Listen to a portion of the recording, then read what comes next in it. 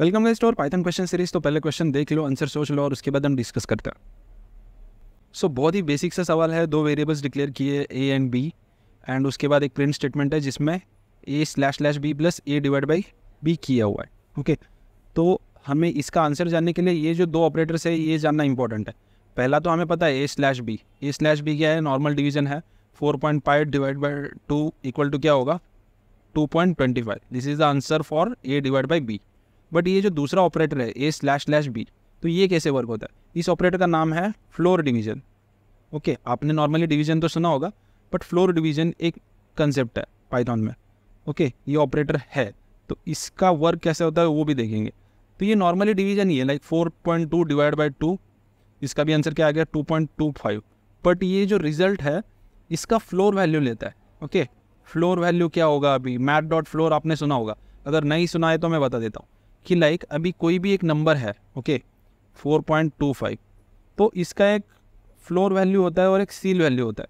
Like अभी अभी ये मेरा घर है, समझो? तो इस घर में एक होता है सीलिंग सीलिंग एक होता है और उसके बाद फ्लोर नॉर्मल फ्लोर तो ये दो पार्ट होते हैं ना। अभी ये मेरा घर है, मेरा सीलिंग होगा अपर साइड फ्लोर होगा लोअर साइड जो नीचे है वो। तो वैसे सेम नंबर के फॉर्मेट में भी होता है कि लाइक अभी ये 4.25 है। 4.25 का नियरेस्ट होल नंबर क्या है? ऊपर वाला अप साइड वाला फाइव है। एंड लोअर कौन सा है? लोअर है फोर सो so, जो ये फोर नंबर है ये फ्लोर वैल्यू है 4.25 की।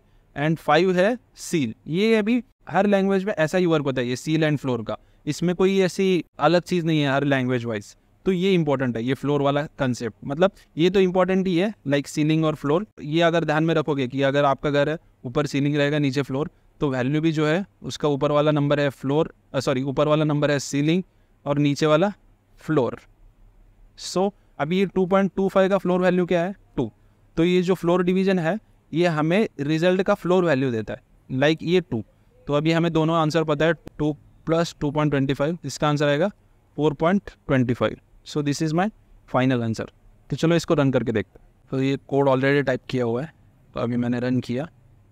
So that is my answer four point twenty five okay अगर अच्छा लगा तो लाइक शेयर कमेंट कुछ तो कुछ करो यार. एंड फॉलो करो ये सीरीज़ को. Thank you guys